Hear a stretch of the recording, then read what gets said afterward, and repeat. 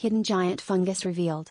The biggest living thing on Earth isn't a blue whale or a giant redwood, it's a fungus hiding beneath the forests of Oregon, stretching across more than 2,000 acres underground.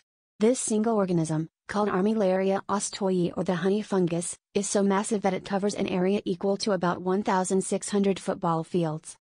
What looks like a typical forest floor is actually a colossal network of fungal threads called mycelium, silently weaving through the soil and tree roots.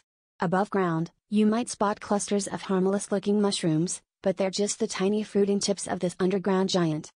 Scientists estimate this fungus is thousands of years old, slowly expanding its reach by breaking down wood and feeding on decaying trees. It's not just surviving, it's dominating, making it the undisputed heavyweight champion of the living world. So, while everyone's searching for massive creatures or ancient trees, the true record holder is a hidden, ancient fungus quietly ruling an entire ecosystem right beneath our feet.